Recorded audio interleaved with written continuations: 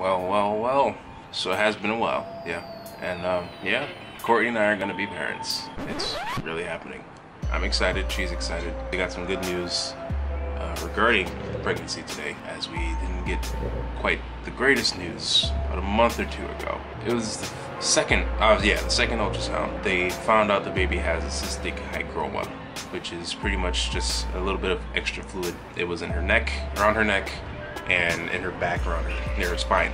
Today, they only saw it in her neck, and then it's not as much as it was. The big thing about cystic hygromas is that they're usually tied to some sort of chromosomal anomaly. I can never say it right. Chromosomal anomaly, uh, which means that there's either an extra chromosome or a missing chromosome. And we got test back, test results back today, and there are no extra or missing chromosomes, which means that she definitely does not have Down syndrome or Turner syndrome or, uh, you know, trisomy 13 and blah, blah, blah, blah, which is extremely relieving. And now we're just waiting for the overall test results. Uh, you know, the micro exam on each individual chromosome in and of itself.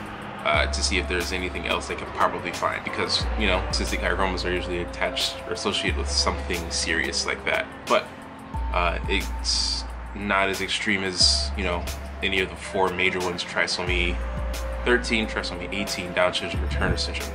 Uh, so we're good on that. We just have to keep our uh, fingers legs and arms and toes crossed uh, hoping that everything else is okay but yeah, it is a baby girl uh, confirmed today. Her name is Gianna. We've been going back and forth with like 17 different names the past two, three months. We've settled on Gianna Simone, and I came up with that one. Her due date is about four dates, actually, or three. The one that we came up with is September 18th. The ones that the doctors have come up with is September 14th and 15th. Nobody knows for sure. And considering that the baby is like a week or two ahead of her development in the sense that she's growing really, really fast because both her parents are huge and they were huge when they were born. She might be born a week or two early. I was two weeks late. My sister and I were supposed to have the same birthday, but we didn't. And I refused to do that because I don't want to share. Our baby might be early, but we'll see.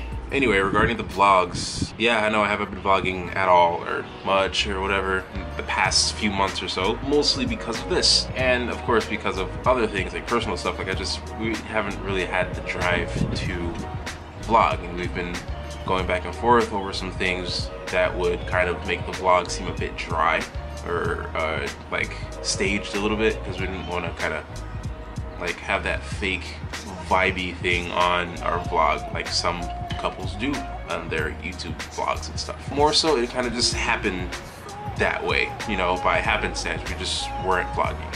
Yes, we've gone out, we've done things, we've talked, we've cleared some stuff up, we've been hanging out, we've been relaxing, chilling, maxing, all cool, shooting b-ball outside of the school.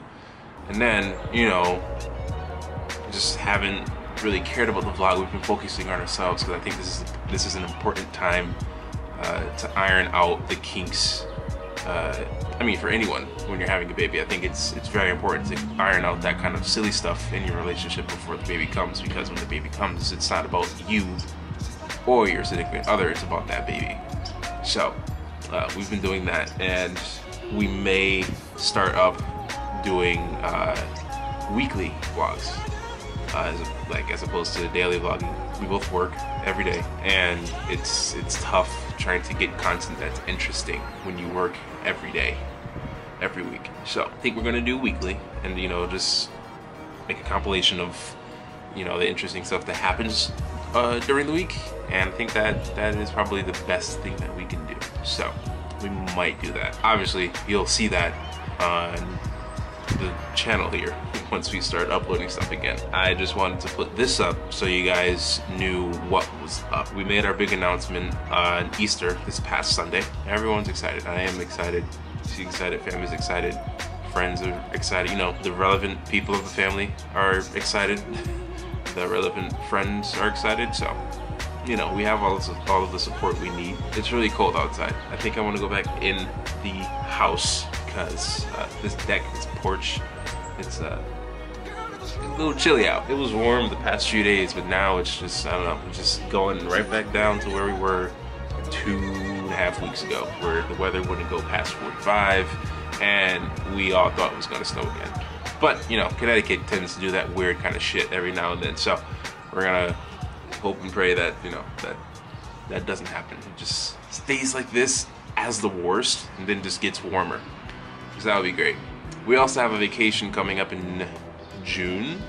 Won't tell you when or where we're going, but you guys have been there before on my vlog. Uh, plenty of times. And that should be pretty, pretty dope because we don't really have a plan. We're just gonna go and, you know, figure shit out as we get there, I guess.